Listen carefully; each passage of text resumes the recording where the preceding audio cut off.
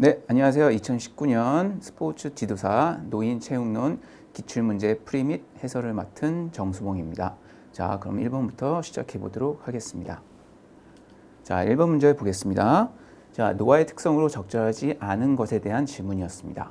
자, 1번. 자, 노화는 생물학적 노화, 심리적 노화, 사회적 노화의 과정을 포함한다. 자, 2번. 생물학적 노화는 모든 사람에게 보편적으로 일어나는 것이다. 자, 3번. 노화의 속도와 기능 저하의 정도는 개인차가 존재한다. 자, 4번.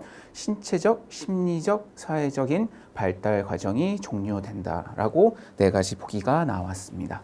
자, 보시면은 자, 노화는 자, 1번. 생물학적, 심리적, 사회적인 노화 과정을 포함한다. 그쵸? 그쵸? 자, 노화는 이 세 가지의 단계의 과정을 포함하고 있습니다. 자, 이번에 생물학적 노화는 모든 사람에게 보편적으로 일어나는 것이죠. 네, 생물학적 노화는 자, 모든 인간에게 존재하는 보편적으로 존재하는 자, 노화의 특징입니다. 네, 누구는 늙지 않고 누구는 어, 나이가 거꾸로 가고 자, 이렇게 적용되진 않습니다. 자, 3번 노화의 속도와 기능의 저하의 정도는 개인차가 당연히 존재하죠. 네.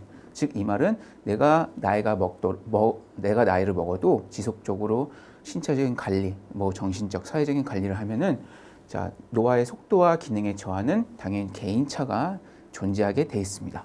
자 마지막 4번 신체적, 심리적, 사회적인 발달 과정이 종료된다. 자 노화를 겨, 모든 사람이 보편적으로 갖는 노화를 갖는다 해도 자 신체적, 심리적, 사회적인 발달 과정이 종료가 되지는 않습니다. 즉 이 말은 자 노화란 어, 시간의 흐름에 따라 생리적, 심리적, 사회적인 변화를 일어나는 총체를 의미합니다. 자 하지만 노화에 의해서 4번의 보기와 같이 신체적, 심리적, 사회적인 발달 과정이 종료되는 게 아니고 노화를 예방할 수 있는 걸 예방 노화를 예방할 수 있거나 그 상황을 유지 혹은 쇠퇴되는 것을 막는 것을 얘기를 합니다. 그래서 노화의 특성을 적절하지 않는 것은 바로 4번이 정답이 됩니다. 네.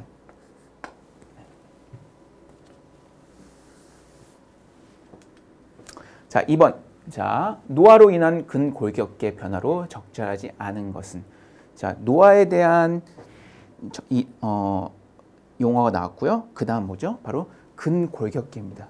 네. 근골격계는 말 그대로 우리 몸의 골격계, 그 다음 근육계를 얘기를 할 수 있는데요. 그거로 적절하지 않은 것. 자, 1번.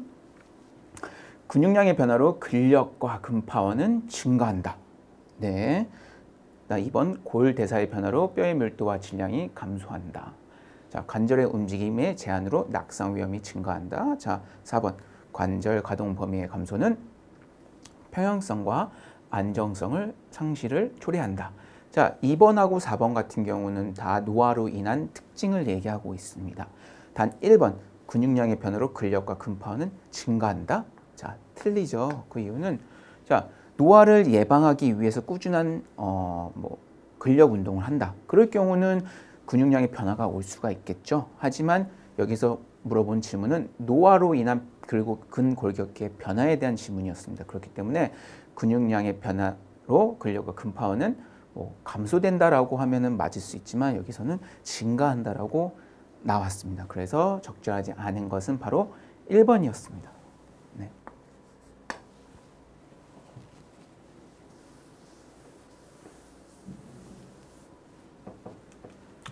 자, 다음 이제 3번 문제 보도록 하겠습니다. 자, 노인의 운동 참여 시 목표 설정 방법으로 적절하지 않은 것. 그래서 중요한 키워드가 뭐였죠? 운동 참여 시 목표 설정 방법이었습니다. 자, 첫 번째, 자 구체적인 목표 설정 맞죠? 자, 두 번째, 측정 가능한 목표를 설정한다. 맞죠? 그다음 도전성이 높은 목표를 설정한다. 라고 했고요. 자, 성취 가능성을 고려해 목표를 설정한다 라고 했는데 딱 보면은 다 맞는 말 같아요. 근데 자세히 보시면 자, 목표 설정 방법으로 특히 대상은 노인이잖아요. 네. 자, 목표 설정 방법으로 첫 번째, 자, 측 측정 가능성이 있습니다. 자, 목표 설정 방법 첫 번째.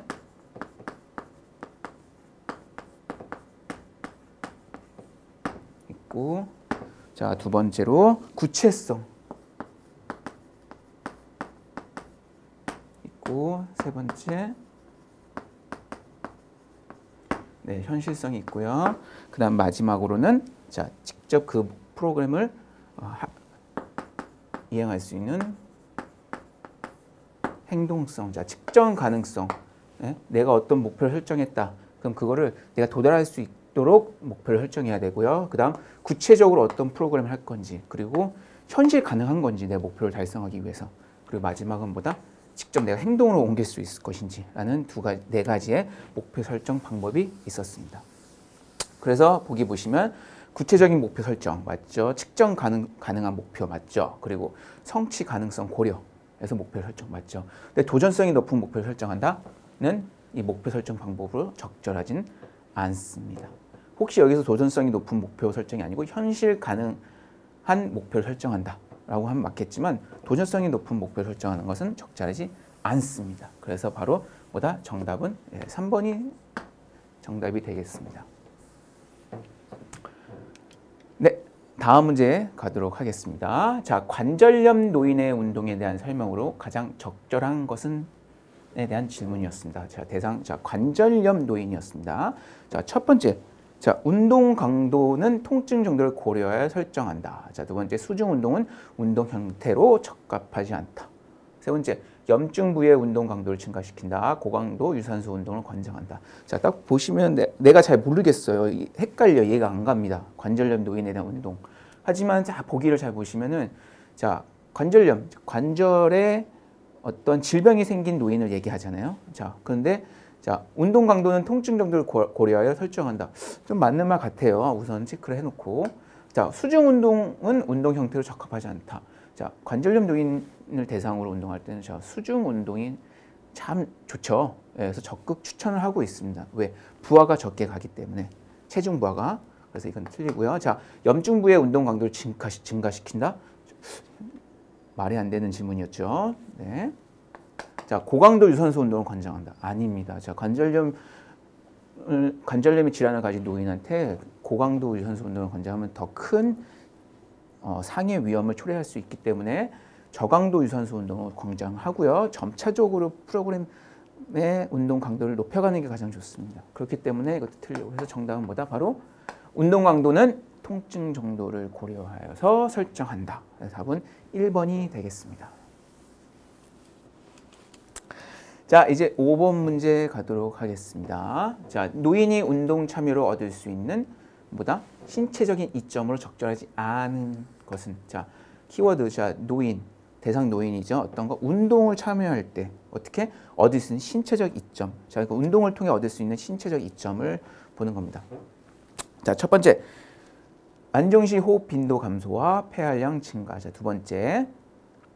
혈관 확장과 말초 현관의 저항성 증가, 세 번째 반응 시간의 단축과 협응력 향상, 네 번째 근육량과 뼈의 강도 증가. 자, 운동 참여로 해서 얻을 수 있는 자, 4번부터 아래 거꾸로 볼게요. 자, 근육량과 뼈의 운동 강도가 증가하죠.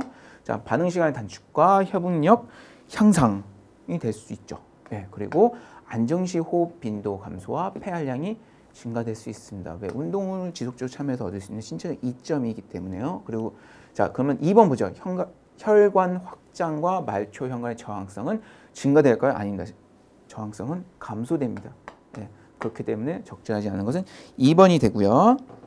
그래서 말씀드린 대로 노인이 운동에 참여하면서 이 말 참여하게 되면 자, 신체적인 얻을 수 이점은 자, 말초 혈관의 저항이 어떻게 된다? 증가가 아니고 감소된다라고 얘기할 수 있습니다. 그래서 정답은 2번이었습니다.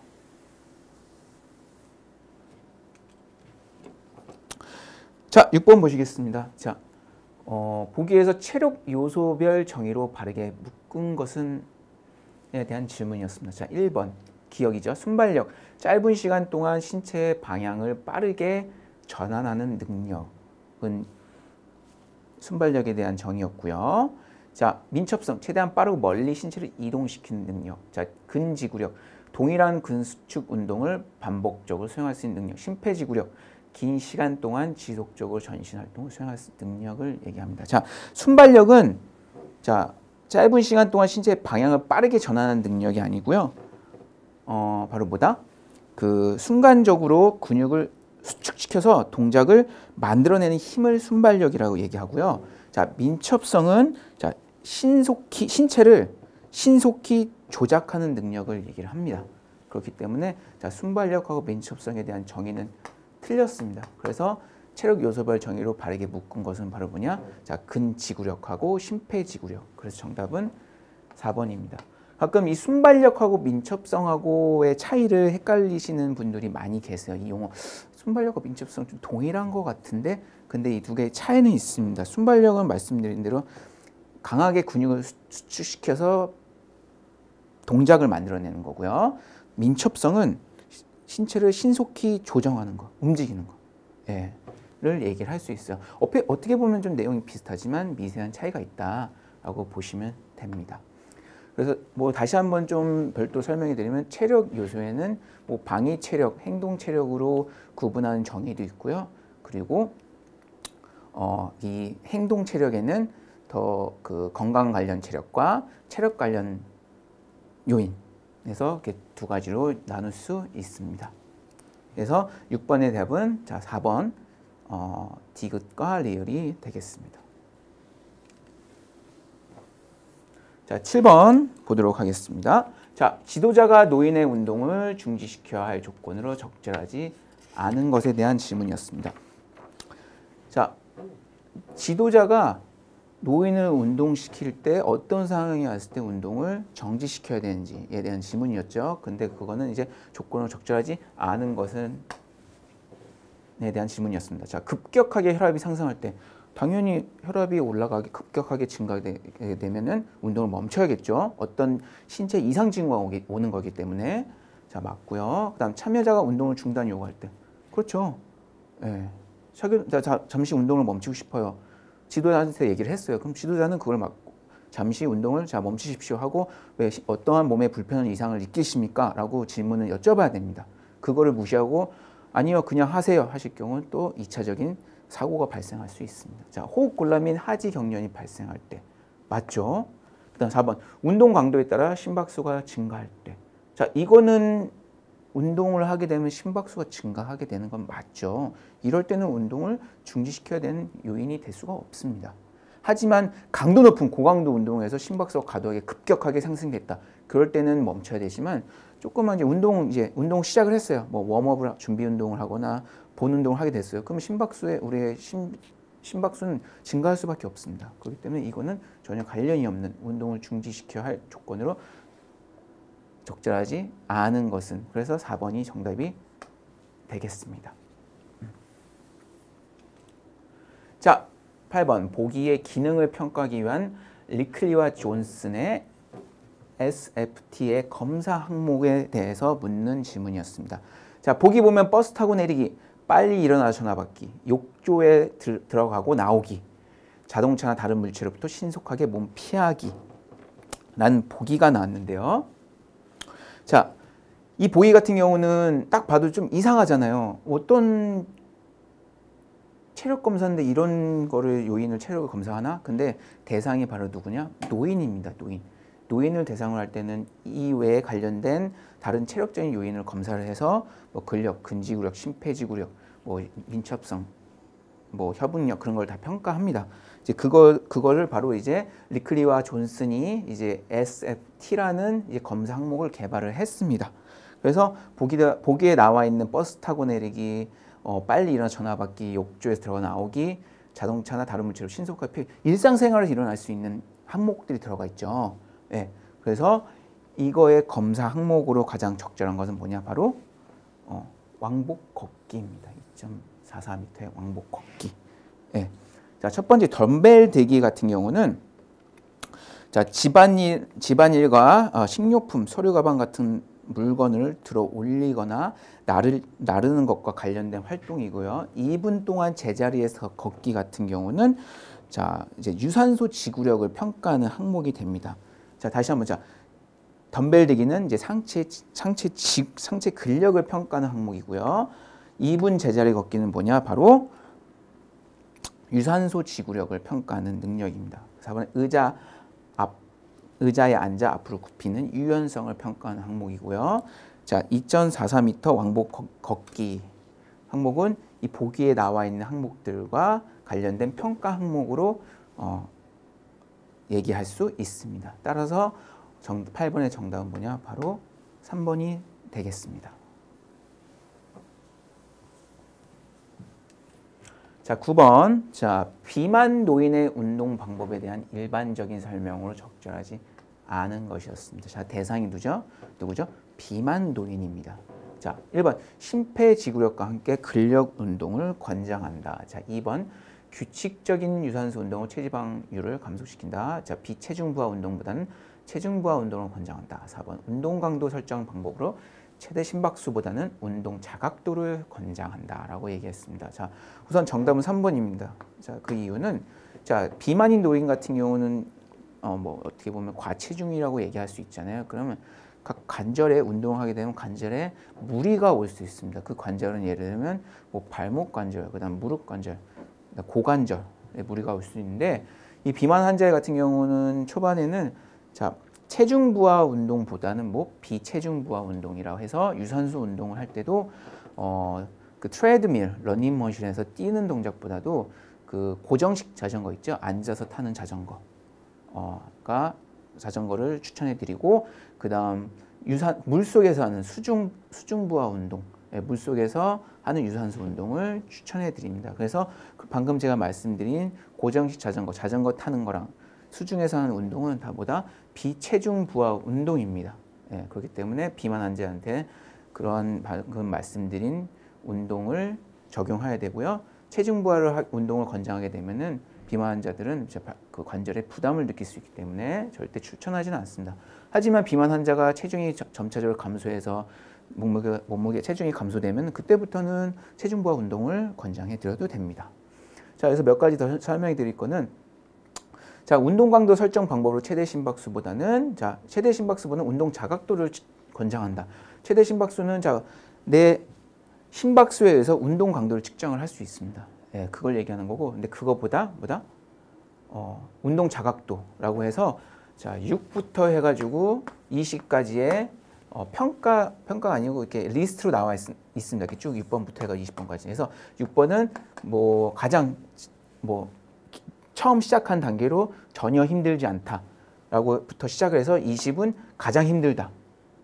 해서 운동 이 강도를 숫자로 얘기하는 거예요. 그래서 운동하다가 어, 앞에 운동 자각도 표가 있어요. 그러면 지, 운동 지도자가 옆에서 어, 지금 어느 정도 힘드세요? 물어보면 운동한 사람은 그 애매하잖아요. 그 얘기하기가. 그래서 이 운동 자각도 표를 보고 딱제 아, 생각엔 지금 한 10 정도 될 것 같아요. 그러면 뭐 저강도에서 중간 정도의 강도로 운동을 하고 있다고 생각을 하시면 됩니다. 네. 그래서 그 6에서 20까지의 그 항목이 쭉 나와 있습니다. 6은 전혀 힘들지 않다. 뭐 걸으면서 옆 사람하고 대화할 수 있다. 막 그런 식으로 예시가 나왔기 때문에 운동한 사람은 편하게 자각도의 표를 보고 아 내가 지금 어느 강도이구나 네, 판단할 수 있습니다. 그래서 그거에 대해 숫자로 얘기하면 지도자는 그걸 보고 판단해서 운동 강도를 측정할 수 있습니다. 그래서 4번은 자 심박수보다는 어떻게 운동 RPE를 권장한다. 이건 맞는 얘기죠. 그래서 9번에 적절하지 않는 내용은 바로 자 3번이었습니다.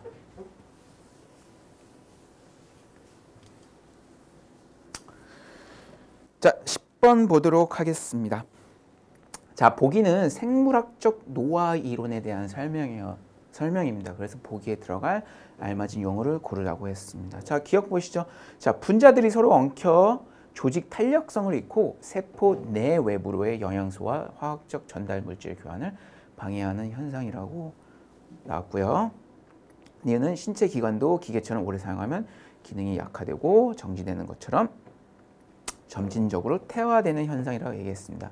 자, 보기 한번 보겠습니다. 자, 항목 보겠습니다. 자, 신체적 변이 뭐 이렇게 쭉 나와 있고요. 그래서 말하는 정답은 자, 2번이 됩니다.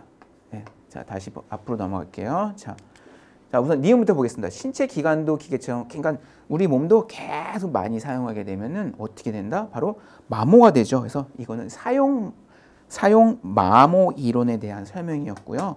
기억은 이제 분자들이 서로 엉켜서 탄력성을 잃게 되면 이제 거기에 대한 이제 영양소나 화학 물질을 어떻게 전달하는 교환하거나 전달하는데 방해가 된다. 이건 뭐냐? 바로 교차 결합 이론에 대한 설명이었습니다.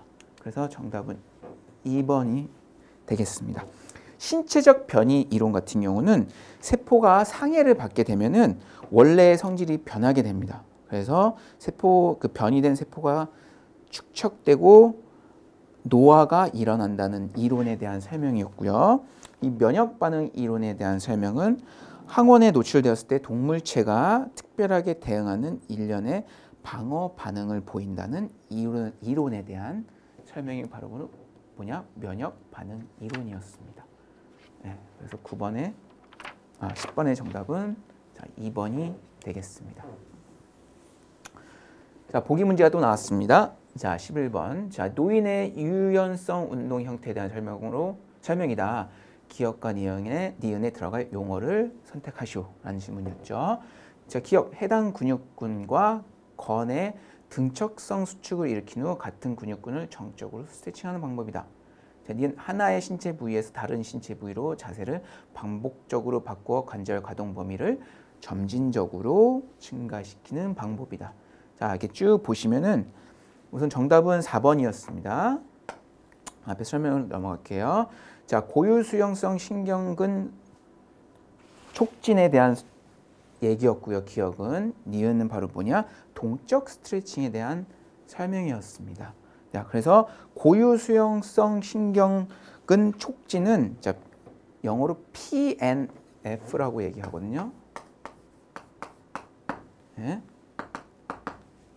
이거는 근육과 건에 존재하는 금방추와 골직원 기관의 기능을 활용하여 근육을 이완하고 수축하는 스트레칭 방법을 얘기하는 거고요.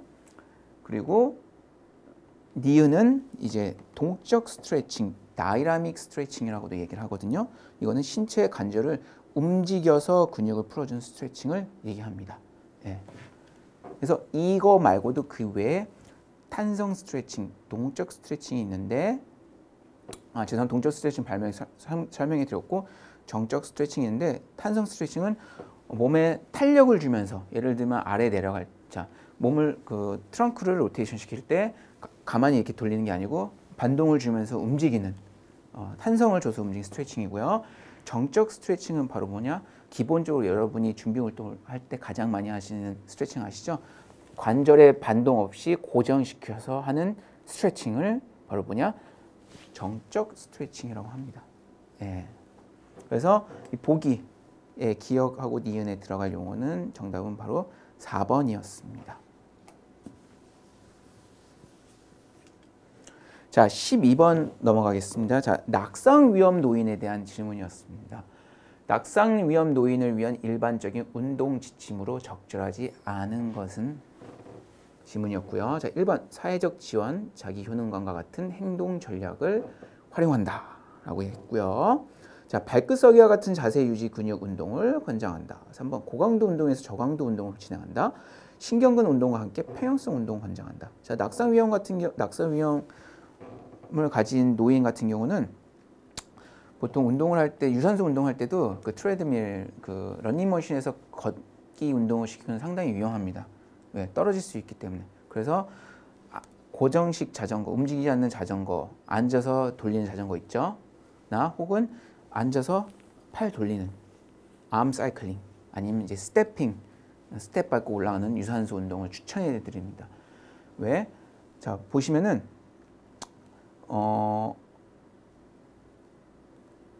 자, 1번 사회적 지원과 자기 효능과 같은 행동 전략을 활용하는 게 맞고요. 낙상 위험 노인들한테는 왜 자신감이 계속 떨어져 있어요. 예. 낙상 위험 노인은 운동 제가 평소에 자신, 자존감도 떨어져 있고 자신감도 떨어져 있기 때문에 평소에 할 수 있다라는 그런 옆에 지도자가 계속 사회적인 그 지원과 자신감을 심어줘야 되는 거고요.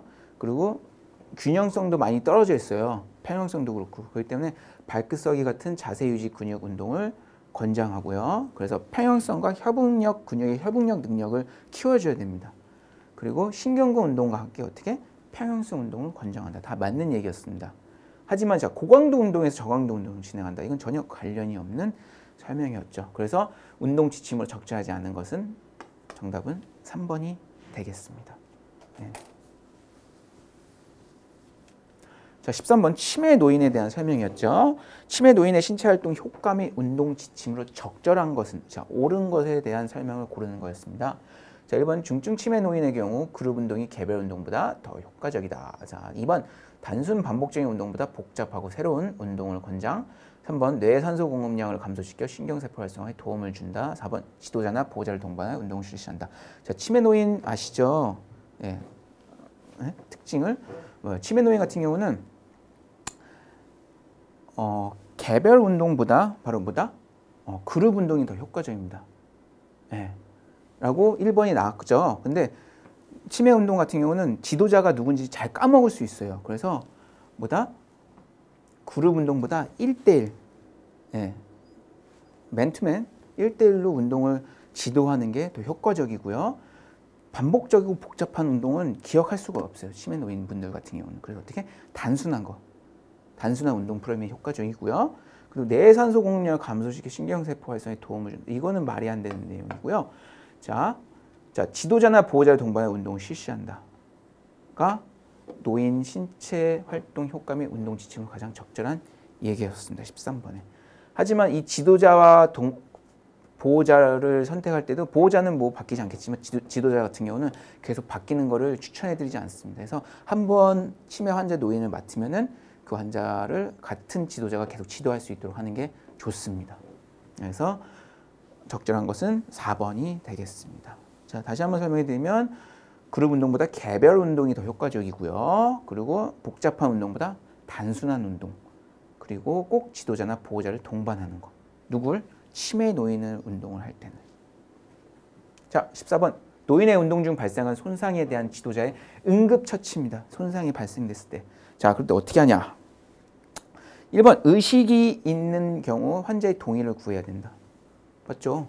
예, 의식이 없는 경우 어떻게 동의를 구하죠?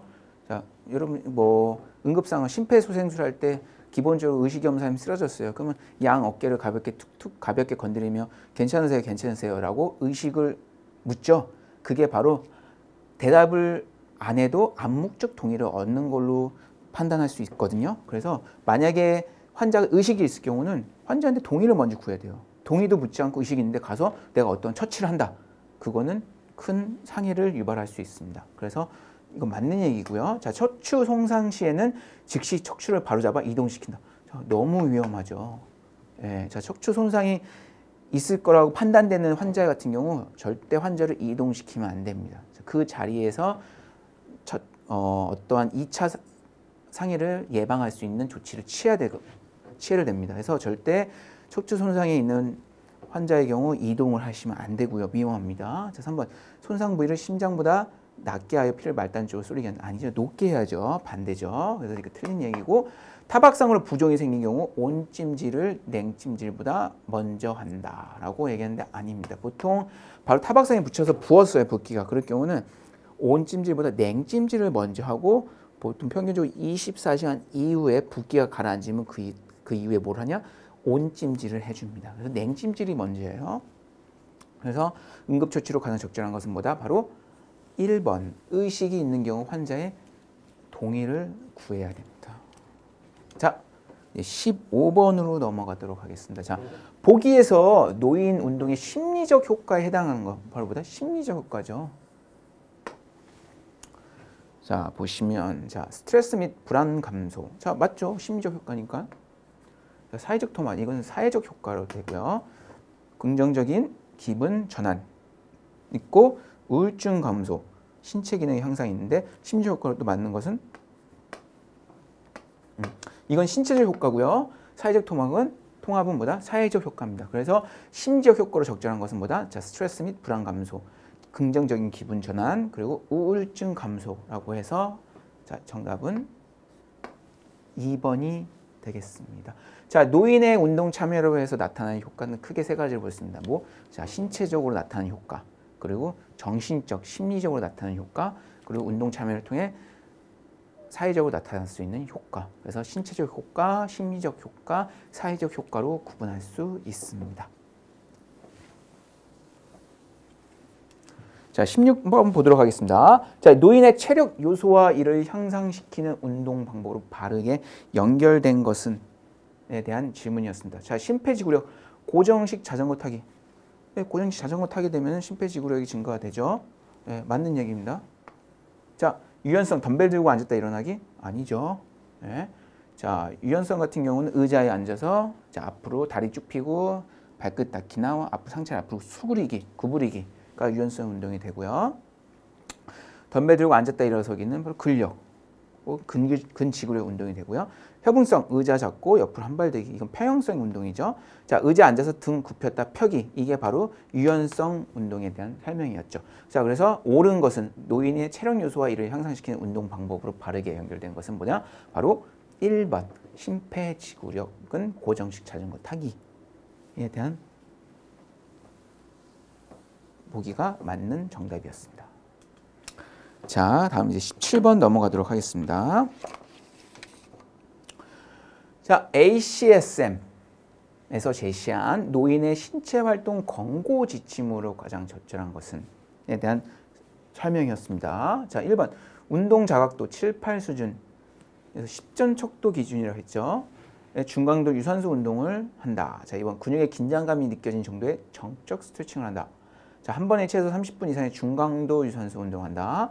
빠른 움직임의 동적 스트레칭을 한다. 라고 얘기했는데 자, 미국 ACSM에서 노인의 신체 활동 권고 지침으로 제시한 적절한 내용은 바로 뭐냐? 바로 2번이었습니다. 2번. 근육이 긴장감이 느껴진 정도의 정적 스트레칭. 정적은 뭐죠?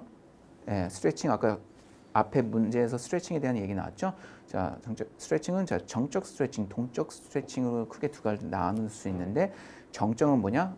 관절을 움직이, 움직이지 않고 고정시켜서 하는 스트레칭을 얘기하고 동적은 자, 움직이면서 하는 스트레칭을 얘기를 합니다. 움직이면서 관절의 가동 범위를 증가시키는 스트레칭을 얘기하는데요. 자, 유연성 어, 죄송합니다. 자,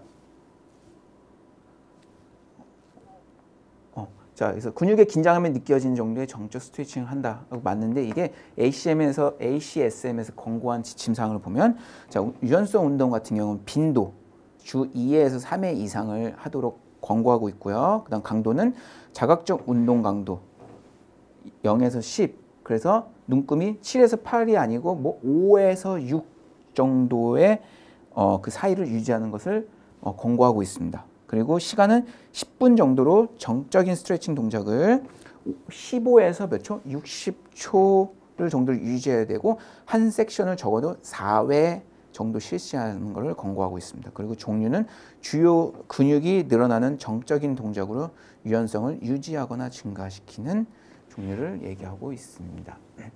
ACSM에서 제시한 노인 신체 활동 권고 지침에 대한 자세한 내용은 저희 교재에 들어갔기 때문에 그걸 참고하시면 될 것 같습니다. 그래서 정답은 17번의 2번이었습니다. 자, 18번 보도록 하겠습니다. 자, 운동 프로그램의 원리 중 개별성의 원리에 대한 설명을 적절한 것은 자, 훈련 강도 및 강도를 지속적으로 증가시 이건 점진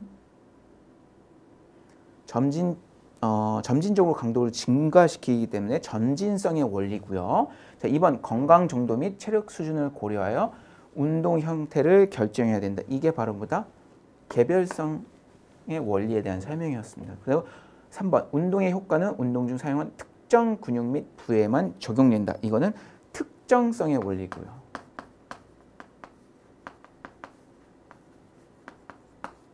네. 이거는 1번은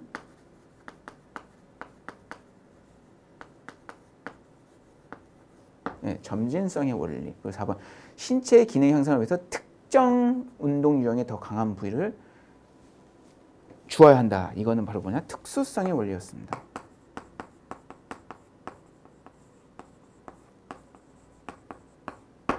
네, 그래서 개별성의 원리는 뭐냐? 바로 정답은 건강 정도 및 체력 수준을 고려하여 운동 형태를 결정해야 한다. 즉 개인에 맞는 뭐 건강 정도와 체력 수준을 고려해서 프로그램을 만드는 거죠. 네, 그래서 정답은 2번이었습니다.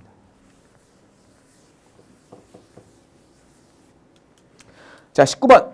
이제 두 문제 남았습니다. 자, 노인의 만성 질환에 따른 운동 효과에 대한 설명을 적절하지 않은 것은 자, 만성 질환입니다. 자, 비만 노인은 체지방이 감소되고 재지방이 증가된다. 자, 운동 효과에 대한 설명으로 적절하죠. 네. 자, 당뇨 노인은 혈당량이 감소, 인슐린 감소성이 향상된다. 맞죠? 자, 골다공증 노인은 골밀도 감소가 개선되고 낙상이 예방된다. 맞습니다. 자, 3번 치매 노인은 기억력이 감소되고 인지력 저하가 개선된다. 자, 뭔가 이상하죠? 자, 치매 노인은 기억력이 어떻게 감소되고 인지력이 저하된다라고 했는데 치매 노인은 운동을 통해 인지력 저하를 인지력이 저하되는 게 개선되는 개선될 수는 없어요. 하지만 그 상, 현 상태를 예방하는 겁니다. 더 악화되지 않도록. 네, 그래서 인지력 저하를 예방하고 치료할 뿐만 아니라 어떻게 또 합병증, 치매로 인한 나타날 수 있는 또 다른 병들, 합병증을 예방할 수 있습니다. 그래서 치매 노인은 기억력이 감소되고 인지력 저하가 개선되지는 않습니다. 그래서 이거는 적절하지 않다. 정답은 4번이 되겠습니다. 자, 20번. 보기에서 노인의 의사소통 방법이 적절한 것은 자, 공감하며 경청한다. 분명 명확하게 말한다. 한 번에 많은 정보를 전달한다. 신체 접촉을 사용하지 않는다. 시각적 도구는 쉽게 읽을 수 있게 만든다라고 했는데 노인과 운동을 할 때 지도자가 대화를 하잖아요. 그때 의사소통 방법이 적절한 것은에 대한 묻는 질문이었습니다. 자 보시면 자 공감하면 경청해야죠 지도자가. 예? 뭐 노인이라고 어떤 질병을 갖고 있다고 참가자나 노인을 어, 운동하는 사람을 무시하시면 안 돼요. 예. 그 특히 음, 운동을 가르칠 때 노인분들 같은 경우는 여, 여러분이 가르치는 운동의 대상은 노인입니다. 노인분들은 어, 막상 운동을 하러 왔지만 운동보다도 이 사람 을 만나서 대화하는 거를 더 좋아하시는 분도 계세요. 그래서 이 대화를 할 때는 항상 어떻게 공감하고 경청을 하셔야 됩니다. 예. 그리고 분명하고 명확하게 말해야 되죠. 그리고 한 번에 많은 정보를 전달 그렇지 않습니다. 예. 간단하게 예. 딱 요점만 전, 전달하셔야 되고요. 신체 접촉을 사용하지 않는다. 라고 했는데 신체 접촉은 어르신 같은 경우는 적절하게 신체 접촉을 사용하는 게 더욱 어, 좋습니다. 그래서 이건 좋고요. 자, 시각적 도구는 쉽게 읽을 수 있게 만든다. 그렇죠. 네, 그래서 정답은 1번 기억, 니은, 미음이었습니다. 그래서 또 추가적으로 설명해 드리면 지도자의 의사소통 기술 및 원칙에 대해서 몇 가지 더 설명해 드릴게요. 효과적인 의사소통에는 언어적, 비언어적, 그리고 자기 주상 자기 주장 기술들이 등이 있고요. 그다음 내용을 명확하고 간결하게 전달해야 됩니다. 그리고 전문 용어나 어려운 단어를 사용하지 않습니다. 보통 지도자분들 같은 경우는 본인이 조금 배운 지도자 같은 경우는 계속 그 전문 용어나 어려운 용어로 설명을 하려 하거든요. 근데 뭐 운동에 대해 잘 모르신 분들은 그거에 대해 전혀 알 수가 없어요. 똑같습니다. 여러분이 어디가 아파서 병원에 갔을 때 의사들은 되게 전문 용어를 사용하잖아요. 근데 일반 사람들은 그 용어가 뭔지 몰라요. 네, 그래서 쉽게 쉬운 단어를 선택을 해서 운동을 전문 용어보다 쉬운 용어를 선택해서 설명을 해드리는 게 훨씬 더 이해가 빠릅니다. 예. 그리고 참여자와 자주 눈을 마주쳐서 대화를 하도록 하는 게 바로 보다 지도자의 의사소통 기술 및 원칙에 대한 설명이었습니다. 그래서 20번의 정답은 뭐다? 1번. 공감하면 경청하고 분명하고 명확하게 말하고 그리고 시각적 도구는 쉽게 읽을 수 있게 만들고 예, 그게 바로 뭐다? 노인의 의사소통 방법으로 얘기할 수 있습니다. 네, 해서 지금까지 어, 2019년도 스포츠 지도사 노인 체육론 기출문제 해설 및 문제풀이를 진행해 보았습니다. 네, 이상으로 어, 강의를 마치도록 하겠습니다. 감사합니다.